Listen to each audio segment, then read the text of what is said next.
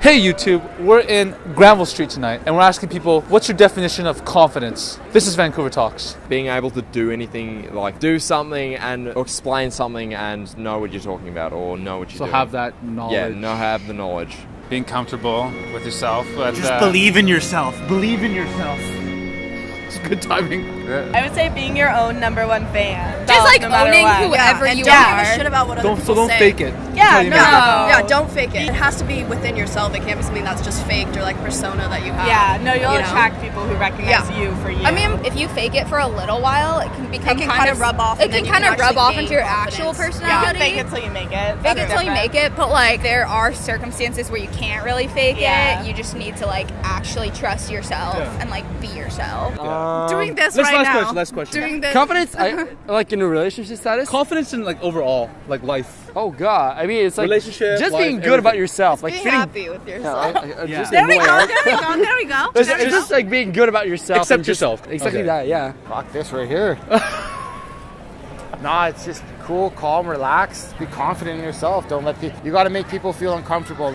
You don't feel uncomfortable to talk to people, right? Be able to own it. Yeah, you got to own it. You want to. If a security guard or a cop was coming over here, you want the cop to feel or the security guard to feel uncomfortable to come ask you a question, not you ask them a question, right? It's easy for him because he's like super tall. I'm, I'm looking up at this guy, man. For the people that are not confident out there, what do you tell them to like be more confident? What advice would you give them? SpongeBob SquarePants is all I gotta say about that. If you ever watched it, you know, like he laughs like a motherfucker. And he doesn't care. And he doesn't care. He Doesn't give a fuck. Do you, boo. That's all I say to my friend. Do you, boo, honey. Just be yourself, be a sponge, and just learn and be like you. Do your thing and apologize after, Uh, or don't apologize nah, at all. don't apologize to be yourself. If you're gonna just be you and don't apologize for that. Just don't. Fuck that. Yeah. Fuck everything. Exactly. Get drunk, get money. Put yourself out of your comfort zone. Try to do more things. You know, something like that. You, you gotta drop your ego. Don't give a shit about what someone else thinks about you. It's all in your own head. You could do self talk like after a bad relationship or something where you just feel like so shitty about yourself. I remember last year I would literally put like sticky notes on my mirror being like, You're oh. beautiful. Like people love you. Just like different words of encouragement and I put it around like different mirrors around my house and that was like my way of like And that worked for you? kind of reminding myself. Yeah. I would say do things that make